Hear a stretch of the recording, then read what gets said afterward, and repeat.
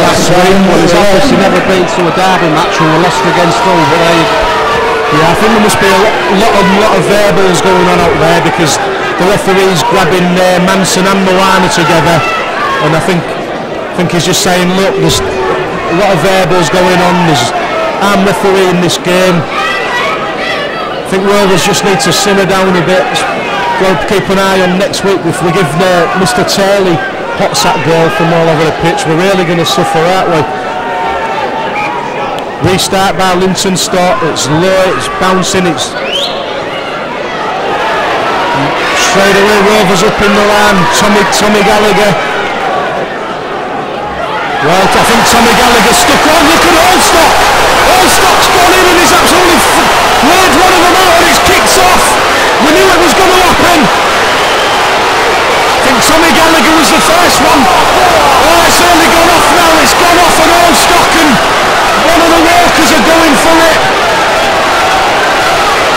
It's really going off big style. The Holdstock and Walker one's finished, but there's still another one going off on the other side. This has been coming, and just been coming all match, it's been coming all season. You've got a team of bloody headhunters out there. I don't care if you are listening to rugby league. Look at that man Muff. Look at that guy Hanford. You can see what they do.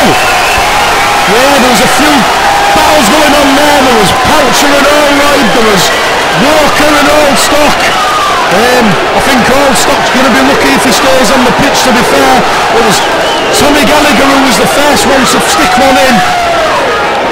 It's going to be interesting because I don't think that they, they actually saw the one from Gallagher.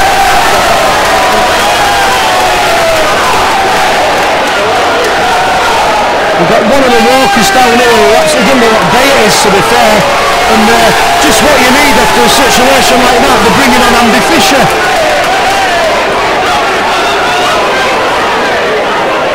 Well, there's certainly no love lost between these two teams. I think the rugby league's got something to blame because it was absolutely ridiculous that we, we got them in the Arriva group stage and then we drew them in the naming quarter final. Absolutely ridiculous.